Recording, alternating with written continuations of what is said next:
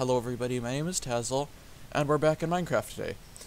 So, starter bases. They're a funny thing. Some build huge bases and call them starter bases, some build small bases, some people just make a little hut out of dirt.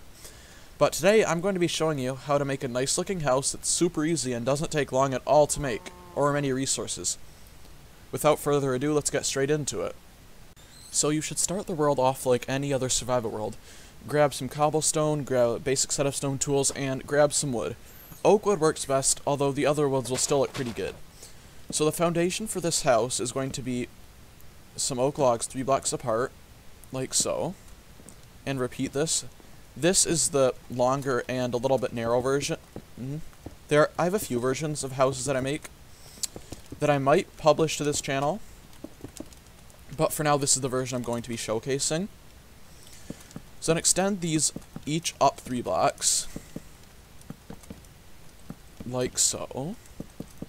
And then this is a little bit of an unconventional design. But do it like this. Add the trim. I think this is what you'd call it, trim. To the logs with the oak planks. Like this. Might look like a little bit of a mess. But you will see where this is going in a second. And then, you're going to want to fill the logs. Like this. All around. On top, but not on bottom, because this is going to be where the door is. So yes, that is uh, actually a big chunk of the house finished. So then just fill in the windows. Like this. Not too hard.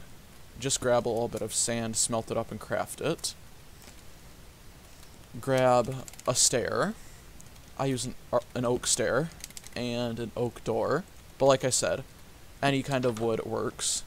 And whenever you want to, you can fill in the floor. Just make it have cobblestone be the easiest. And then the roof. What you actually want to do is make a ring of slabs around the house first. As demonstrated. This works as a cheap, nice little overhang for the roof. I think it looks pretty good. And then you're just going to want to fill in the rest of the stairs like you would on any other house. Once you have the stairs all the way up, like so, you're going to have an empty strip down the middle, which you can either put glass in to allow some light in, or you could do some planks, or some slabs, I should say. So either way works. The windows on here are a little bit smaller, so you choose really how much natural light do you want and how much do you want to be lit up by torches. So yeah, this is our house. It's a decent bit of room for starter. It's pretty cozy, it's solid, has some windows. So looking pretty good. With this house, something else you can do is actually you can make a nice little garden out front.